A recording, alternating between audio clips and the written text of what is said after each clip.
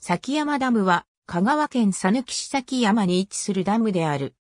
崎山ダムは佐抜山脈を水源とする二級河川である鴨部川水系鴨部川の総合開発事業の一環として洪水調節、流水の正常な機能の維持及び上水道用水確保を目的として建設された香川県が管理する多目的ダムであり、高さ38.8メートルの重力式コンクリートダムである。たびたび洪水を起こす鴨部川の治水と長尾町及び指導町の上水道用水確保が求められていた1966年に鴨部川総合開発事業が構想された。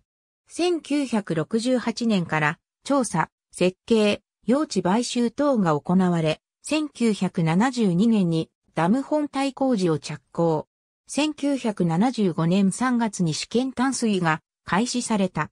ダム湖畔は、崎山ダム公園として、キャンプ場などが整備されているほか、崎山が四国88カ所の長尾寺と大久保寺を結ぶ、遍路道にあたることから、ミニ88カ所の地蔵が祀られている。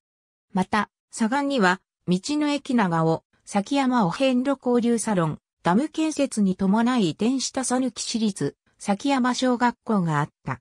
この崎山小学校は、移転前はダムの底にあった木造2階建ての校舎だった。移転後新築されたものは、鉄筋コンクリート構造の3階建てで、屋上にプールが設置されている。